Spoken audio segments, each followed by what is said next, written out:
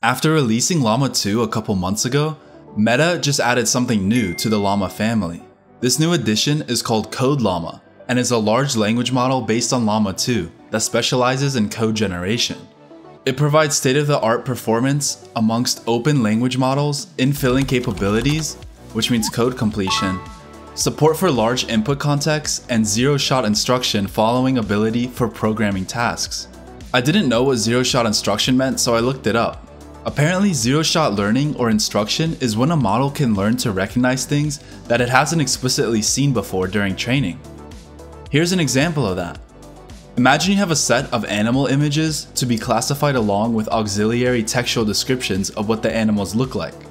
With zero-shot learning, an AI model that has been trained on identifying images of horses will be able to predict a zebra even if it was never trained on it. Now that we understand what that is, let's look at what languages CodeLlama supports. On Meta's announcement page, we can read that it supports Python, C++, Java, PHP, JavaScript, C Sharp, Bash, and more. Awesome. So, let's see how well it works. Before I do that, I have to download the right one because the repository includes three types of models. The first one is a pre-trained code model, the second is a code auto-completion model, and the third is a fine-tuned instruction model. For this video, I'll be testing the fine-tuned instruction model because we want to be able to give CodeLlama instructions for what to code. I'm also going to use the 7 billion parameter version because the 13 billion blew up my computer last time. Alright, let's get into it. I'll be testing CodeLlama in three different categories. The first one will be algorithms. I will be asking two LeetCode questions, one easy and one hard. The second category is debugging. I will give Code Llama some broken code in two different languages and seeing if it can fix it correctly. The last category will be front-end design. I'll be asking it to create a landing page in simple HTML and React and seeing if it looks decent. Let's begin. After downloading the Code Llama 7b model and changing some of the example code, it's now ready to answer my questions. The first question is to code twosum in Python. This is a super famous algorithm problem on LeetCode. Basically, you have a list of numbers as an input and a target number. You have to find which two numbers in the list add up to the target.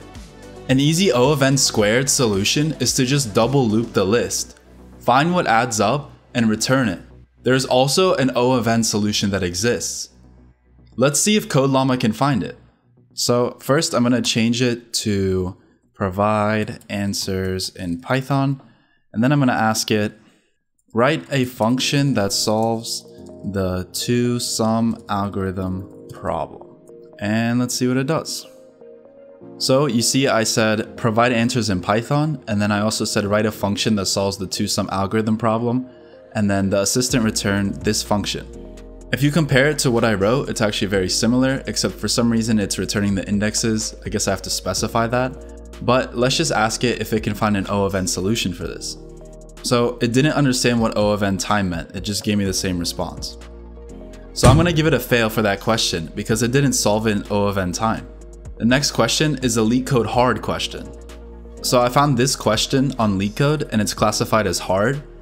And given an input string s and a pattern p, implement regular expression matching with support for period and star where period matches any single character and star matches zero or more of the preceding element. The matching should cover the entire input string and not be partial. So for example, if the input is AA and then P is A, A does not match the entire string AA and we would have an output of false. So if we had AA and then P equals A star, the output would be true because it matches. So let's just copy this description and see if CodeLlama can solve it and we'll actually be putting it in here and running it and seeing if the solution works. So I put that description in and let's see what CodeLlama comes out with. So it gives us a way using the regular expression matching in Python. I do not think this is gonna work, but let's see. I'm gonna copy this. Okay. So let's run it and see what it says. So we actually did get two cases that were correct, but the first case is wrong. And this is where S is AA and P is A. So maybe if I provide the constraints, it will actually do a better job. Okay, let's run it and see if it can solve it now that it has the constraints. Okay, there we go. This actually looks like a more proper algorithm. So it has the edge cases and then everything else. So let's check it out. All right, so it looks like this one got the first case right, but then the other two cases wrong. So Llama also failed the hard LeetCode question. So our next category is debugging. I'm gonna start off by giving Code CodeLlama a simple debugging problem. So I found one here that if it runs correctly, it should be showing this output, but right now it's broken. So let's actually see what happens when we try to run this. We can just use this online thing and I'll put this in there and run it. There's a couple errors here. So I'm gonna take this code and I'm gonna give it to Code CodeLlama and see if it can debug it and fix the problem. So let's copy this in. All right, let's run it and see if Code CodeLlama can fix it. So Code CodeLlama says, the code is missing a closing quotation mark at the end of the string passed to printf. Here's the corrected code. then if we copy this code and see if it runs, let's just replace this whole thing, run it, and boom, there we go. This is a buggy program. So Llama passes the simple debugging question. Let's see if it can pass a slightly harder one. So I have this code here where the current minimum value is not initialized. So when I run this with this array, 3256, I should be getting 2, but I'm getting 0. So I'm going to take this code and ask CodeLlama to fix it. Let's see what it says. It found the problem. It said the main issue with your code was that you were using the variable current min before it was initialized. You also had a typo in the min_val function where you were using AI instead of AI minus 1.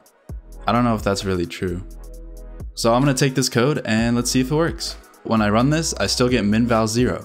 Actually, let me fix this size. It didn't detect that, um, that it was initialized wrong. So now the min_val is 2.